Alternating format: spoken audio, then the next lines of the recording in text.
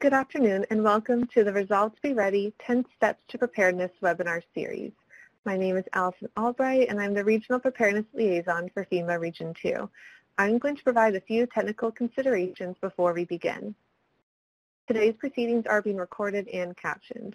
The archived event will be available on the FEMA website in the coming weeks. You hear audio through your computer speakers, so please ensure your volume is turned up so you may hear the proceedings accordingly. In the top right of the screen, you ask like, if you'd like to receive news and updates from Region 2. If so, please enter your email address and we'll be sure to add you to the distribution list. We will have a question and answer session after the presentation concludes. You'll see a Q&A pod in the lower right-hand corner. Please feel free to submit your questions about the subject matter there, and time permitting, we'll do our best to answer them. Finally, the PowerPoint presentation from today will be available for you to download in the file share pod as a PDF. click on the file and download it using the download button that, I'd like to turn it over to the Region 2 Community Preparedness Officer to introduce our speakers and today's proceedings. Good afternoon, everyone. I'm Debbie Casa, the Community Preparedness Officer for FEMA Region 2. I'd like to again welcome you to our Resolve to be Ready 10 Steps to Preparedness webinar series. FEMA's individual and community preparedness programs from around the nation have come together as one FEMA to collaborate on a series of preparedness webinars for our stakeholders. Resolve to be Ready is focused on sharing emerging trends and resources from across the country. Each session will feature FEMA preparedness staff from the different regional offices, and we're pleased to be co-hosting today's webinar with the individual and community preparedness team from FEMA's Region 9 office serving Arizona, California, Hawaii, Nevada, Guam, American Samoa, Commonwealth of Northern Mariana Islands, Republic of Marshall Islands, and the Federated States of Micronesia.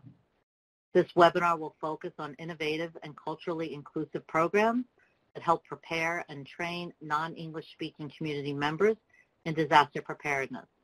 Programs like Listos are excellent examples of our shared desire to more fully serve our communities at large. Our first speaker today is Liliana Encina. She currently serves as the Fire Service Training Institute at FSTI National Program Director and the bilingual English-Spanish Public Outreach Coordinator for Santa Barbara City Fire Department in California.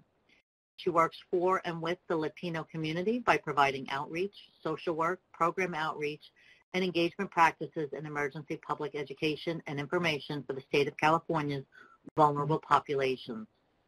She has served as the Director of Family Services at La Casa de la Raza um, Cesar E. Chavez Center and as the Latino Initiatives and Outreach Coordinator for the County of Santa Barbara Office of Emergency Manager, Management since she emigrated from Mexico to the U.S.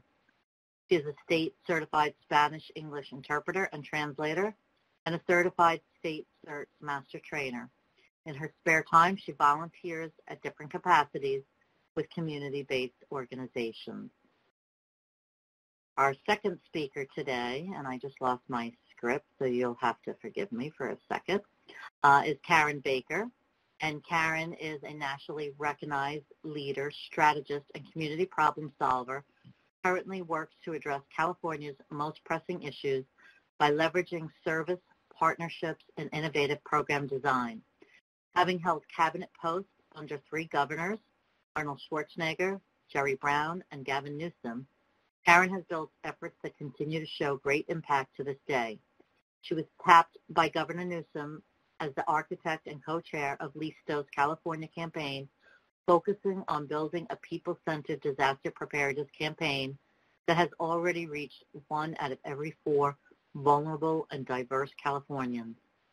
Karen also serves as senior advisor in the California governor's nonprofits in the homeless, homelessness and poverty arenas as well as served on the team, team that created AmeriCorps during the Clinton administration.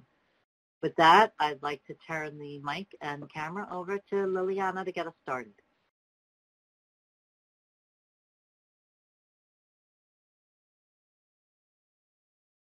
Thank you so much. Okay, so hopefully everybody can see my screen now.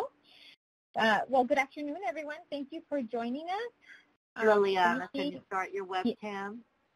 Yes, click. Give me one second. I don't think I. turned on the right button. Yeah, you Okay. got it. There we are. Okay, perfect. All right. Well, good afternoon. Uh, thank you for joining us. My name is Liliana Encinas, and I'm the National LISTOS Director. And today I'm going to be speaking about the Aware and Prepare LISTOS program, which is a disaster preparedness education for vulnerable populations. And so please feel free to utilize the chat box uh, with any questions or any comments. We do have our Aware and Prepare executive team and our LISTOS staff members available to answer any of your questions. And so, um, let me see, can I move on? There we go. Okay, so what is LISTOS? And this question, um, I guess is, is kind of like the, the question we need to get. I'm having a little bit of technical difficulties with the presentation. Let me see. Which slide do you need to be on, Liliana? I, on the second on the second one, I'm trying to. Ah. Oh my. Okay, there we go. Perfect. Thank you so much. All right. So um, a uh, culturally competent disaster preparedness curriculum, and we really like to see ourselves as a, a community capacity building curriculum. We see it as a stepping stone for the community emergency response teams, the CERT, um, and we're a very adaptable, flexible, and tailored curriculum for the communities we're trying to reach. We're very low tech and we're mobile. We do not utilize PowerPoint presentations or anything that will um, intervene in our teaching uh, methods. And so very low tech.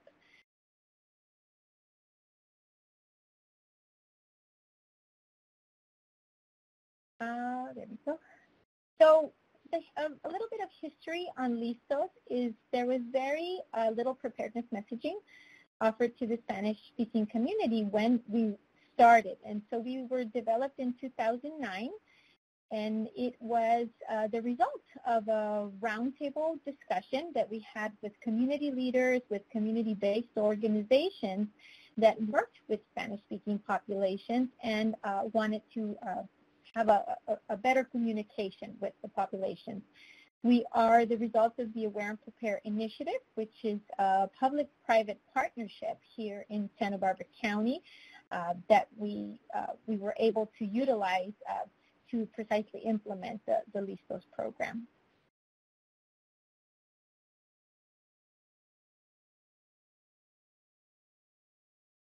Okay. And so we as I mentioned, we were we, cre- we were created as a as that county-wide public-private partnership, right? Specifically to uh, Santa Barbara County here in California, to strengthen that disaster readiness and to build uh, a resilient community.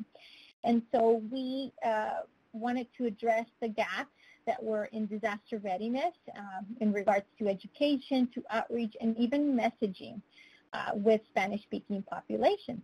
So as the years went by, we, we, we first created a pilot program in 2010 in a small city here in Santa Barbara County, Carpinteria, that, was very successful, which then led to uh, revising a curriculum, creating a train-the-trainer model so we could uh, create sustainability, right, and, and build leadership amongst the folks that were going through the basic program. And then in 2014, we were able to start sharing outside of Santa Barbara County because we were getting multiple requests of uh, this program being in this county and being so successful.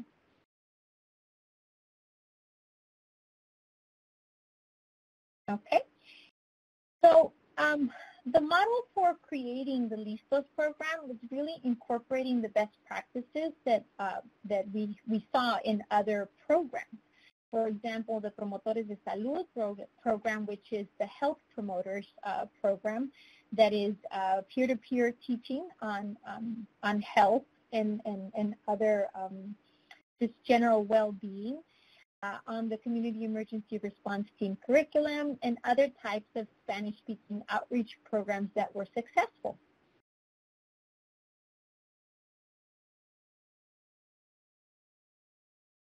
LISTOS uh, provides the information uh, of disaster, the importance of disaster readiness, right, right? But we do it in a very basic form.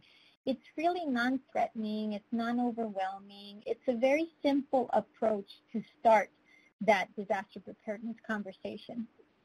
And we encourage all family members to partake in the class activity. So it really includes a multi-generation, multilingual household in these preparedness efforts.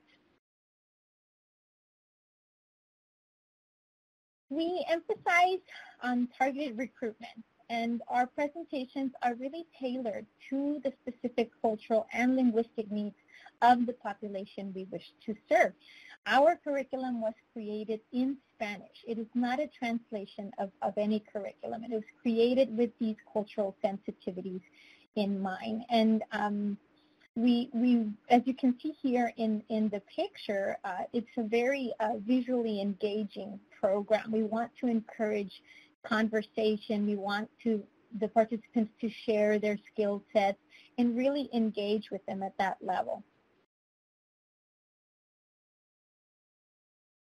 Our curriculum is an eight-hour curriculum, and so this curriculum includes the following topics, like we talk about, you know, knowing your risks, document backup, we talk about fire extinguisher, anything that has to do with really starting that preparedness in your home. We ideally divide the curriculum into four sessions in which we cover these specific topics and we practice activities uh, according to the topic. Um, there's different models of doing this. Some, some programs wish to do a one-day, eight-hour course. Other programs wish to do uh, four sessions of uh, two hours, or whatever the community's needs are, uh, we're flexible to that.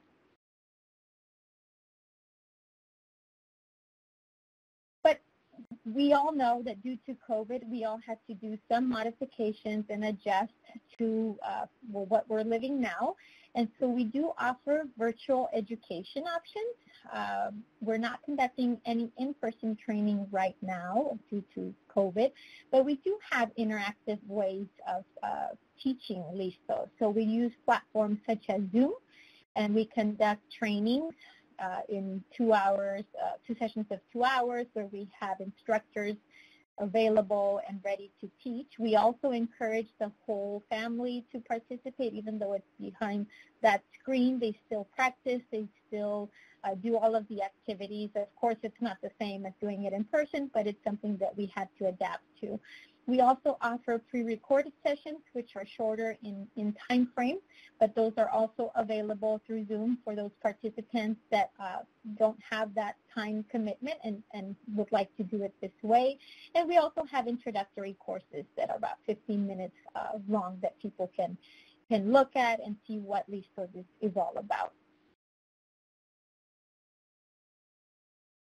Along with our curriculum, we do have a YouTube channel where we, we are strong believer, believers of visually te teaching folks, right? So we have these short videos in which we cover specific topics to the curriculum that are available in English and Spanish, and it's different preparedness topics um, that we cover within our curriculum. So you can always visit our website at listos.awareandprepared.us or you can visit our YouTube channel, which is Alertar y Preparar Listos, which is the word prepared but in Spanish, and these videos can be found there as well.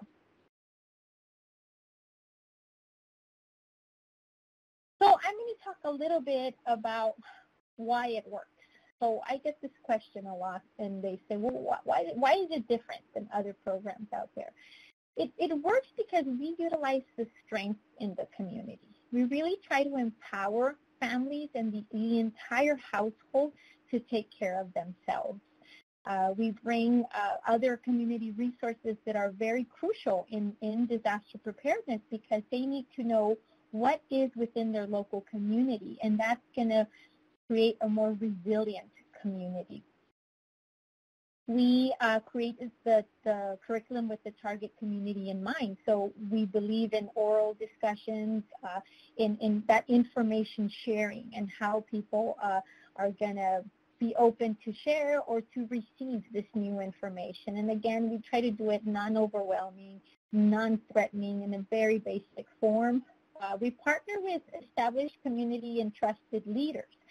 And so we, we, we strongly believe that this is a community builder. And so we, we work along with um, food banks, with school districts, with resource centers, libraries, places of worship, and places where there's already captive, captive audiences and there's already a trust with that community. So we just add on that preparedness component. Some of the key lessons that we've learned throughout this decade that we've been uh, teaching the LISTOS program is that we really need to meet folks where they are. We can't expect them to come and, and want to learn on preparedness when it's probably a new subject um, altogether. So we really want to make sure that we meet them and not only uh, meet them where they are, where they are perhaps emotionally or mentally or but physically as well because we know that could be an impediment too. So we go to neighborhoods, we go to mobile home parks, we go to agricultural fields, we go to food banks, as I, as I mentioned. We have these partners, so we are making sure we're meeting them there. We welcome children, so we, we have classes where the entire family participates, and of course, it's about the food. When we share meals, something magical happens when you start sharing um, your experiences or your concerns or whatever it is, but it, it starts that sharing. So we do potlucks and we believe in all of this and really building community. And so those are some of the, the key lessons that we do have. Uh, we have to keep in mind that um, we, it, we have to commit, right, to assist everyone if we really want to build a resilient community. Remember that inclusiveness is uh, not just the box that we check, right? That we're, oh, we're delivering it in Spanish language or this language or that language. It really has to be a commitment. And, um, and we have to be inclusive of everyone. And so um, something that I wanted to share is, you know, populations uh, were exposed to inequity. Just this last year, we saw a lot that we hadn't seen before. And so this goes way longer than just a, a particular one particular disaster, right? This is not just to the pandemic, but this is something that's there, and we have to make sure we address it and that we're open to, right, working with our communities. We have to be adaptable, flexible, and, and tailor whatever our message is to the community we want to reach. And we have to keep these relationships going. Uh, sometimes it's easy for us to put something together, but we have to think of a plan on how we're going to continue building these relationships and, and, and building that trust with our community. And of course, uh, I can say LISTOS is absolutely fabulous, but there are, are challenges, as with any curriculum. And we do understand that perhaps recruitment, attendance, uh, you know, that storytelling, and even measuring the successes could be challenges. But I see that there's more successes than there are challenges with LISTOS. Um, and and we re- that's when that flexibility and that adaptability play a huge role because that's how you're going to overcome these challenges. Um, and, and as well as uh, we're not going to learn about inclusiveness and, and you know building community in a 20-minute PowerPoint presentation on LISTOS, right? Uh, this is much more than that. And so each community is different, and we have to make sure that we know our community, we know what they need and how we can serve them, meet them where they're at, and it takes a lot of work. It's not it's not easy, right? And it's more than a year of campaigning. It's more than just uh, introducing the idea. It really is fostering that that whole educational uh, approach of how can you prepare and how can you keep this going, right? Some of the unanticipated outcomes that we've had is that we we have uh, large participation from uh, the communities that we want to uh, reach. We see that uh, the graduations, the ceremonies, the certificates instill a lot of pride in, in this particular community. It really empowers them. And something that we have seen throughout all of our LISTOS classes is that it um, it really creates that culture of preparedness. It's, it's a multi-generational, multilingual household uh, being introduced to emergency disaster information and linking them with their local resources, with their first responders, getting them comfortable with people in uniform that are there to serve a purpose, right? We do offer a train-the-trainer curriculum because we do believe that the program, in order to be sustainable, we have to create leadership. And so we have the train-the-trainer curriculum, which is a 24-hour curriculum. Currently, right now, due to COVID, it's also being modified, and we do it in, in, in a 16-hour uh, curriculum uh, through the Zoom platform as well to create uh, that leadership. And um, and it's a, it's a great curriculum. It, it gives the participants more information on how to be leaders in disaster preparedness education in their local community. The way that we evaluate the program is we have weekly assignments, we do have uh, surveys, we have evaluations, so you can see how the program is being successful in your community. And of course, the, the participants' willingness to share. Uh, some of our community like to share and, and promote the program on their own, and that's how we can see if the program is being successful. And as I mentioned before, that empowerment, right? Knowledge is strength, and uh, it really is that confidence and trust uh, to access the community resources uh, in the need, of, if there's a need in the disaster, right? It changes lives. They have seen it and it builds relationship. Uh, my other hat that I wear, uh, other than these post directors, I work for a local fire department. And I have seen the difference uh, when we have fires. California is is very familiar to fire. So in the evacuations, in uh, receiving the messaging, in understanding what a, uh, um, a warning is, what an alert is, what a flash flood warning is, in all of these terms, really the community knowing what they are makes a huge difference um, with the in, the eyes of a, of a first responder. What's happening now with our program is we have 58 registered programs in the state of California. Uh, thanks to the California for All grant, uh, the initiative, uh, we received grants. We were able to translate uh, the program into 11 other languages. And some of those languages other than Spanish and English is we have Japanese, we have Vietnamese, Korean, traditional Chinese, Hebrew, Russian, French, Portuguese, uh, among other uh, languages in which the program is available. We have a new design and a curriculum update. As I mentioned, we do have a manual um, that we use as a resource, as a guide uh, for our curriculum. But Listos is much more than that manual. It's much more than that curriculum. It's that building that community, linking them to local resources. That's that's where the beauty of Listos is. Some of the uh, uh, procedures to start a program in your community uh, are, it, it's, it's fairly easy to start a program, but we do like for these programs to be linked in some way with their offices of emergency services, their fire departments, their law enforcement. We want them to know uh, the resources that are available. Um, there has it has to be consistency, sustainability, continuity, right? This is all important to deliver the to to have a program, a robust program. There's minimal to no cost uh, uh, for training and for implementation, uh, and no cost to participants. Uh, the program is built on volunteer leadership and engagement, and so we do um, uh, uh, support programs with sustainability and with tools for them to to have a robust registered program. The process, uh, we, we ask that they have a sponsoring agency, and so I, as I mentioned, either that agency can be a local fire department, a police department, an office of emergency services, and on a case-by-case basis, yes, a non-governmental agency uh, can be a sponsoring agency. Here's some examples of our outreach materials. Uh, we have outreach materials that are specific to um, whatever the disaster is in that community. So we want to get them familiar with the terminology, with the words, with warnings, with uh, alerts, whatever it is that we use, even their uh, communication system for alerts in that area. So we do have these outreach materials also available.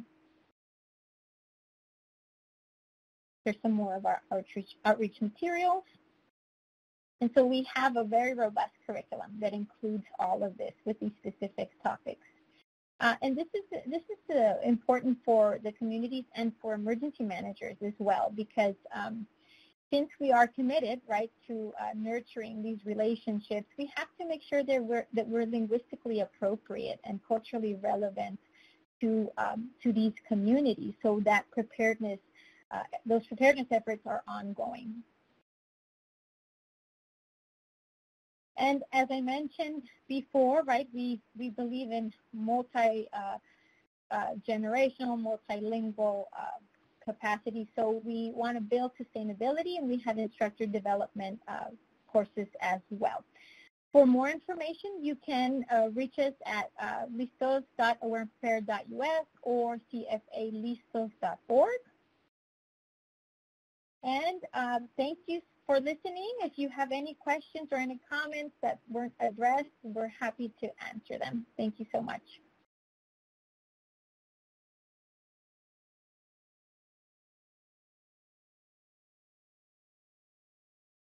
Deborah, should I go ahead and get started, or did you want to take a break for some questions? So we're going to hold the questions to the end. Go ahead, Sarah. Okay. Great. Thank you so much. Well, um, hello, my name is Karen Baker. I'm with Listos California, which is an emergency preparedness campaign here in the state of California. Um, it's a $50 million um, funded campaign that was provided funds in the um, beginning of 2019 uh, to fund what was going to be an 18-month campaign aimed at educating a million of our most diverse and vulnerable Californians to prepare them for natural disasters. That was the focus of the effort. Um, obviously, about uh, a year into it, um, all of a sudden COVID hit. So the campaign ended up expanding to also include uh, COVID-19. And um, so what I'd like to be able to do is give you a quick overview of this effort um, and our focus and strategies, and then um, obviously provide you the free and very easily accessible materials that we developed so that if it can help you in your community, I hope you'll just, you know, please copy all materials and, and edit uh, as, as you see fit. Um, that's me. Um, I want to begin um, with how this all started. In, in January 2019, our Governor Gavin Newsom had traveled to the Camp Fire in Paradise and was just really struck by how diverse and vulnerable people were really um, hit quite hard by fires, as they always are in most disasters. And um, diverse and vulnerable people, for purposes of our campaign, are defined as those people that are older Californians, people with disabilities, people that are low income, and non-English speakers, and other diverse communities members. So the idea was, why don't we take the $50 million and invest in a couple of different strategies. One, let's provide grants to community-based organizations. Ones like the Listos program you just heard about is part of our, our, one of our volunteer and service teams that we invested in so that they could expand. Um, others were organizations like the United Way of Fresno, who was able to take funds and be able to then spend that um, those funds on educating their community. So um, the investment ended up uh, eventually uh, ending up with about 300 nonprofits. Um, and those 300 nonprofits are the ones that were really responsible for connecting kind of person to person on the ground in their community with these diverse and vulnerable individuals. And as I mentioned, our goal was to hit a million. We were able to hit with intensive education about 2.4 million people. We still have a couple months to go. And then with some COVID-19 specific material, over 18 million were reached. So uh, we were very excited about, about those results. Now, um, kind of how did we do it? Um, I'll talk about that. Um, first of all, what was really important was having research that really informed our strategies.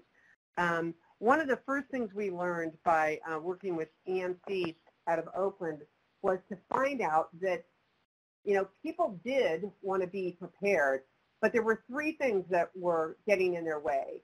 First of all, they found that they were scared. They thought it was um, too time consuming and it was potentially expensive. And so what we realized in, in, in, designing the campaign that would really work is we had to address those, those issues.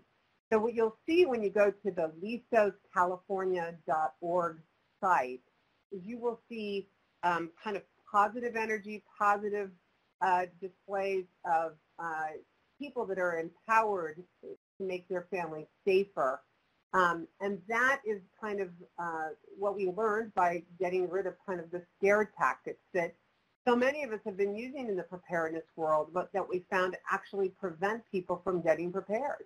Um, another thing, obviously, is making it really simple, both uh, being mindful of literacy levels. We wrote most of our materials at a seventh grade literacy level, and then ensuring that we have it in the languages and have the design be culturally um, sensitive as well and appropriate. And so we have it in the seven languages, all of our materials, um, that represent the 24 counties that ended up competing and securing our grants through a competitive process. Um, they speak English, Spanish, Korean, Chinese, Vietnamese, Hmong, and Filipino. So those were our primary seven languages. In addition, as additional partners came on board, we've added Russian, um, Arabic, and other um, languages, especially with some of the more prominent languages for refugees that have come into the state of California. And we really wanted to be able to reach these community members. We've also realized we needed to create both audio files and videos to make sure that we're reaching both Mixteco, Oaxacan communities, in both Mexico as well as Central America that might have oral language traditions and might need materials presented in a different format. Um, so what, what we did in doing this research, it helped really inform what we were going to do. We did an inventory of both FEMA materials, other state and regional and local campaigns to really kind of boil it down to five is what we found would be simple and yet helpful. And the five steps for the California campaign are, first of all, make sure that you get the alerts that you need, which is you go to calalerts.org. And that would direct you, once you go to CalAlerts, to your specific county that would have its very specific alert and warning system um, because they are different throughout California. So that's step one. Number two is to make a plan for your people. And that meant uh, to create a connect and protect list, which is a list of all of the people that you're looking out for and that might be looking out for you. And this includes, you know, obviously your phone number, your email, your physical address, and putting that all in a envelope that goes into your go bag. Um, so you have your connect and protect list, your evacuation routes that have been identified. There's tips about that in our disaster ready guide, which I'm, I'm pulling this all from. Um, and then as you, as you put that together and create a plan for your people, then you're ready for step three, which is your go bag. And what we have um, when, once you see our materials is really graphically rich um, materials that make it quite simple for people to see exactly what they need. Documents, cash, maps, medication lists, etc. that go into that go bag. Makes it really easy to follow. Um, and then step four is to create a stay box for those kinds of disasters where you need to stay exactly where you are. Um, and step five, informing your friends and neighbors about the importance of preparedness. So these five steps are all embodied in uh, a main guide that we created called the Disaster Ready Guide. And um, I'm sharing this, but what you really need to do is go onto the website at listoscalifornia.org, and that's where you'll see this guide um, available in digital format, and you'll also see it in, of course, all the different languages. If you were to look in this guide, you would see there's a lot of attention made to making it, you know, culturally rich. Um, so we're, we're very thrilled with that piece. We also provide on the website 15-minute curriculum, one-hour curriculum, um, all kinds of different ways where you can learn how to communicate um, this information um, in a way that will hopefully work for your community. Um, another thing that we did in the research step to make it relevant to the community that was being educated is we created hazard and vulnerability maps that overlap earthquake, wildfire, and flood risk with various vulnerability categories. So you can find out if you're a senior and um, you think you live in an earthquake zone, you might be able to look at these maps and find out, oh wow, I'm actually most at risk for a flood, not an earthquake. Um, so these maps have been very helpful in helping to even further target what kind of preparedness campaign a, a very specific zip code would benefit from. Um, all of those maps are available on our website for, for California. Um, another thing that made, I think, our, our campaign or helped to make it a, a success were the advisors that we listened to. Not only uh, did we have, of course, our 300 CBOs that represented very diverse communities, but um, advisors from 25 different interests. Um, they would review our materials. They, they helped us produce additional materials. One of the more um, popular and interesting ones was a disaster guide for homeless people. You know, how do we really get our homeless community prepared? Um, we also have guides for the developmentally disabled, um, intellectually disabled, disaster guides for farm workers. You'll see all kinds of very tailored guides for these community members, all on the website. So just want to make sure um, you realize our advisors and subject and population experts helped with that.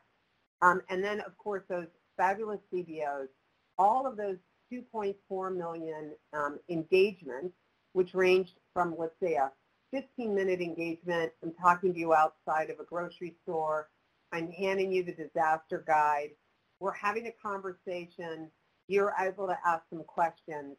Um, that would be considered on a, one end of an engagement. And then we also counted all the way up to people that became LISTO's program participants or CERT volunteers. So that's the 20 hours in the case of CERT, uh, four to six hours in the case of LISTOs. So we had a range of what counted for that 2.4 million. Um, but just wanted to let you know about that. Um, these are those five steps that were the simplified message to really boost preparedness that we created. Um, and these, this is just a sampling of some of the documents um, that we found that we really, really benefited from. We also have a series of uh, magnets that go on a refrigerator in seven different languages with art that really does um, connect with our various communities. We found art as a really primary cultural, you know, connector. Um, these were the numbers um, a few um, months ago. These have gone up, like I said, to 2.4 million for emergency preparedness engagements and over 18 million through COVID. Um, and this just is a, provides you with some of our um, our links on social media. right now on Facebook, we have close to 45,000 followers um, just doing great um, on uh, all of our social media platforms. It's, it's been a really big way of connecting with all of the niches of our community that we try to reach. Um, and that was a really, another big part of the investment of the 50 million was toward that, that social media asset creation, um, making sure that we also had paid and earned media, um, it was it was really important to have what we called the air game and the ground game going on at the same time. Um, my name is here as the architect and co-chair, but I just have to do a shout out to Justin Knighten, my, my co-chair of LISTOS, who is also now over at FEMA, serving as the Director of External Affairs. But the two of us were, were the tag team for this effort, working, as I said, with all of these this wonderful community-based programs. Um, and with that, I'm going to just really turn over the rest of my time so we can have more time for questions. Um, thank you so very much for the opportunity. Thank you both so much for all this great information. And we do have a, a pretty engaged audience that have uh, quite a few questions for you both. So if um, if you both want to have your cameras on, then I will put the questions out there and one or the other could determine who's best, or perhaps maybe you could both add a little insight. Um, so the first question we have is whether or not you have the people that participate actually prepare a go bag for emergencies. You want to take that, Liliana? Sure. Yes. Um, so yes, definitely. Uh, I think both we and and I, I forgot to add, uh, but I thank you for to Barbara and our team that was on there. So thanks to to Listos California, we're able to reach more uh, population, and we try to align with uh, with with the state efforts are. So we, we want to have that same messaging to all of our communities. We don't want that mixed messaging. So yes, we do have them build their ready kits. We have them actually write out a family communication and reunification plan as part of the Listos program, as well as knowing where their utilities are. We actually do a walkthrough through the area, involve all the, the family or uh, the household members uh, to identify the risks and, and, and things of this sort. So yes, we definitely do that. And in our program, the, the community-based organizations were given a budget where they could decide what items they would, were interested in purchasing to help really promote uh, the program. We sent all of them um, these go bags that were really, you know, a simple drawstring bag, as well as document holders um, that were made available to them for um, preparedness documents that we thought were really important.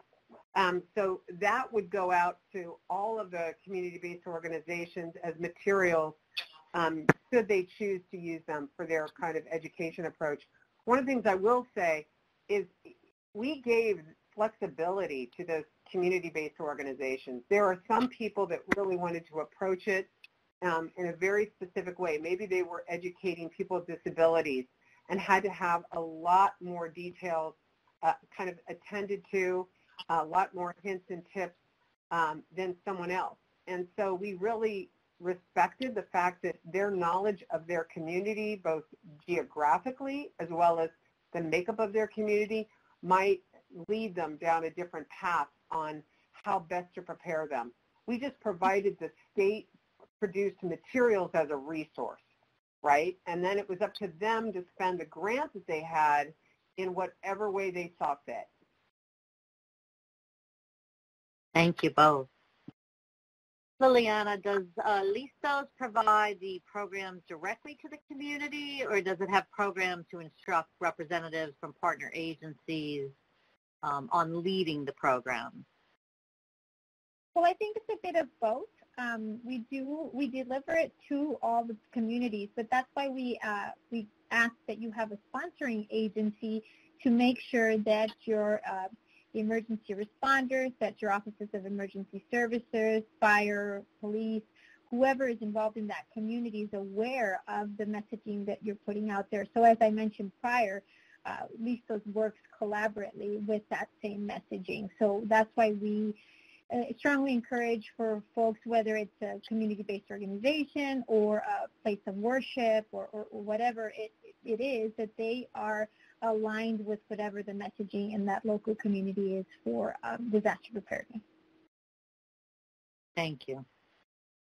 What areas is Listos active in, and how can an agency set up a Listos event? That's a great question. So in the state of California, we're in 19 counties, uh, the, the Listos program. And so we have 58 registered programs within those 19 counties. And the areas are all across, across the state, uh, from one corner of the state to the other corner of the state. So it includes the coastal areas, the valleys, everything. It's spread throughout um, California. And with Listos California, the campaign, and I'm sorry this is so confusing, uh, for, the, for the campaign, it's resources that have been given to 24 primary counties in this last um, 18 to 20 months. Um, but then moving forward, um, we're at the, at the stage of really exploring. Uh, the has made it clear he wants this to continue. He wants ongoing funding of the Listos California program, and we will be seeing the size of resource that we're given, whether it will remain the 50 million, will it go up so that we can serve all 58 counties? We'd love to see an expansion of Liliana's fantastic program. We'd like to see, you know, a lot of um, other great models that have, uh, you know, uh, been created this year to also be able to expand. I'm sorry. Can you both restart your webcams? It looks like somebody accidentally uh, reset them. Are there? Do you, do you each have any advice on adapting uh, this program for other populations or communities? Well, I, I can let you know that for the Listos California campaign, you can just go to the site and go under Get Your Community Prepared, and it'll take you down to a toolkit that has all of our materials, everything from curriculums to materials um, of all these various guides, um, videos. It has, you know, everything you could ever need, the kitchen sink. And then you can go ahead, take those materials, decide how do those need to be edited or changed to be applicable in, you know, Chicago or wherever you may be, right? Um, and we welcome that. We, we found, you know, I know that when we were doing some early inventory that many community members, especially diverse and vulnerable, could not afford to become prepared because they would have to pay to be prepared. So what we're really into is offering, just as Liliana does with her wonderful free approach, we want materials to be accessible and free to the, to the public. So feel free, other states, other, other countries, to take these materials and edit them so they reflect how um, preparedness would work in your community. Um, but we're, we're fine with that. Okay. And if uh, I can add, I'm sorry, if I could just add that um, with the with the Listos program, right, you can utilize these these tools, these guides, or, or, or whatever it is you would like to implement. But then we can really assist you in, in, in building these partnerships so it's sustained in these communities, right? Because sometimes it's not just enough to give them, but what to do with that information, right? So I think that's where we kind of take the torch and then run with it. Um, and I think that's the, the beauty of the partnership where uh, uh, Listos, the program, works collaboratively with Listos, the campaign. And so I, I strongly believe that um, you, you, once you give this, this educational uh, this education to your communities, then just fostering those relationships and what are you going to do now with all of this? Thank you.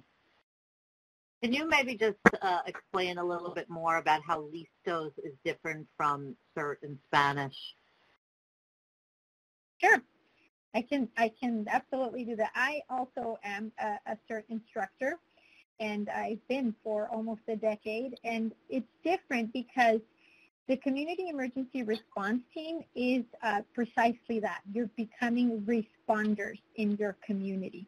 So um, the Listos is just the information and education at home. So it, it starts with you and I, and that's where the the program comes in. Um, we're not um, training them to be emergency responders. We're not training them to be anything like this. We're just providing education, resources, and tools for them to be a more resilient uh, a family in the case of a disaster. So that's where the difference is. But it is the stepping stone for CERT. We do see that uh, folks that have gone through the Listos program then want to continue with their preparedness efforts and then are engaged in, in, in other trainings such as CERT or other, uh, even AmeriCorps or any other trainings of this sort.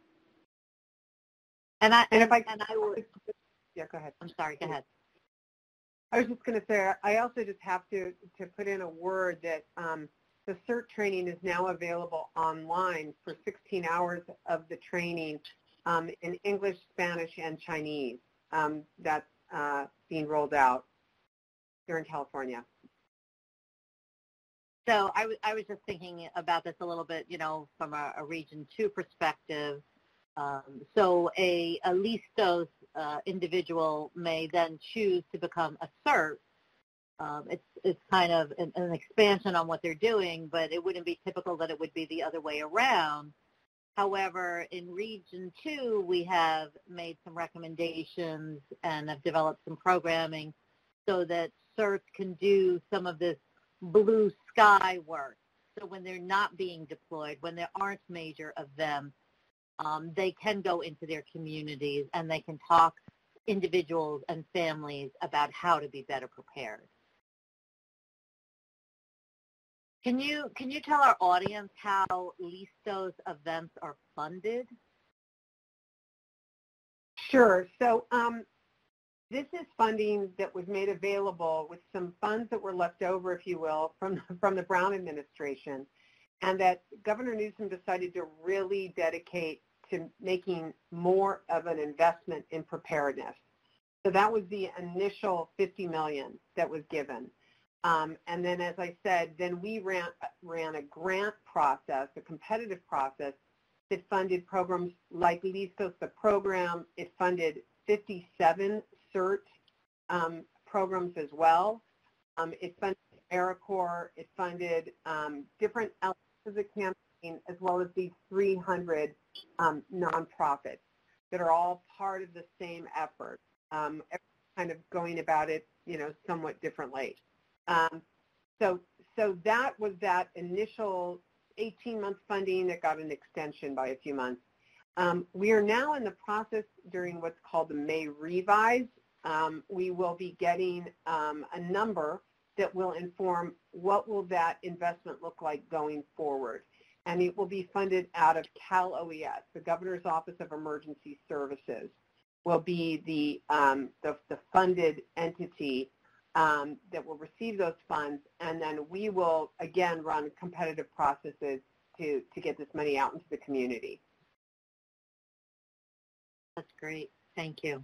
Yeah, you bet. Can you, can you tell us if you've done this program in East LA, and if not, uh, when you might be planning to? And our, our, our uh, attendees said muchas gracias. Okay, yeah. Um, I think, yeah. Yes, sorry, Karen. Yes, um, we do have a program in uh, uh, Los Angeles County, and so if you are interested, uh, specifically if it's in your area, you can send us an email or go to our uh, website, and we're happy to uh, assist you. If you want to implement the program in East LA, we will definitely support you to do that. And then if you're interested in just materials, if you will, getting into the hands of people in East LA from the campaign, we had a partnership during this whole um, process with the American Red Cross that was in LA um, working in 30 very, very diverse and vulnerable pockets throughout Los Angeles that was able to get this material out on the streets um, as they did their other um, program like the, the, the Pillowcase Pro- Project and um, other um, preparedness approaches that they use, they then added ours to the mix. And so that was able to get out to um, members of the LA community. Thank you. How can other agencies recreate the hazard vulnerability maps in their own region? Um, I think the easiest thing to do is um, go go grab ours and go grab uh, the name of our professor from Sac State who did it here for California. Find out what you know what his is his department and what colleague might he know about in your region, or would he be able to do it for you? Um, he was able to grab information um, and and do that that merge that was was so important and so critical. Um, you can also just contact universities that where you already have you know, relationships that do great GIS mapping. Um, I mean, he used census data, um, used information from Cal OES about uh, the um, earthquake zones, flooding zones, uh, et cetera. So that's how, how he did it, but um, it could certainly be reproduced in other communities. Thanks. Do LISTOS trainees deploy? No, they do not. They can be a resource within the community to bridge uh, a communication gap or for extending the message of preparedness uh, or any local uh, activities that you'd like to extend. But no, the idea is that we want to encourage them to become CERT training. We want to encourage them to be more involved in their community. So this is just a stepping stone. And we try to, with, when, we, when I talk about linking them to other resources, we introduce them to the CERT program in their local area, to their police activities league, or whatever it is that's very uh, um, present in their community, and we encourage them to, to be further trained. And so at this level, we do not um, train them for that. Thanks. Can you remind our listeners where they can get the disaster guide for homeless that you spoke about earlier, Karen? Sure. Disaster guide people experiencing homelessness. Um, this this is found just with all guides um, at listoscalifornia.org website.